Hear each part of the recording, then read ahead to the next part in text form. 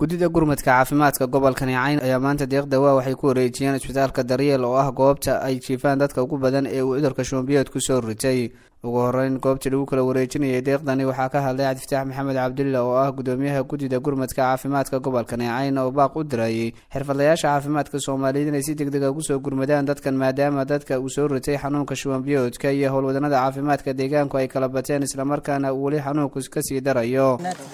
Anigoo ku hadlaya magaca guddida caafimaadka deegaanka buuhoodle waxaan saaka doonaynaa inaan deeq dawo ah ku wareejino oo ka mida deeqihiina soo gaadhay ee dawada ahaa.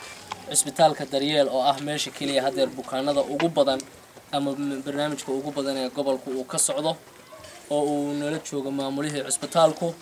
Sidoo kale waxaan baaq u dirayaa dhallinyarada caafimaadka ee u dhalatay deegaanadan ee wax ku barata deegaanada kale kii diyaarad soo qaadan lahaa iyo kii soo duuli lahaa iyo kii gaadhi soo fuuli lahaa.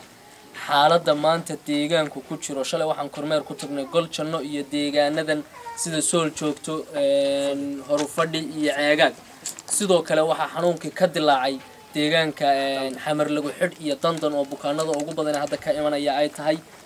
Ka caafimaad ahaan xaalad aanu ku filannahay iyo xaalad loo badheeri karo midnaba ma aha intaasi kadib iyana halkaasi waxaa ka hadlay mas'uuliyiinta guddidan oo iyana baaq u diray cid walba oo kaalmo soo gaadhsiin karta deegaanka inay si deg dega ugu soo gurmadaan.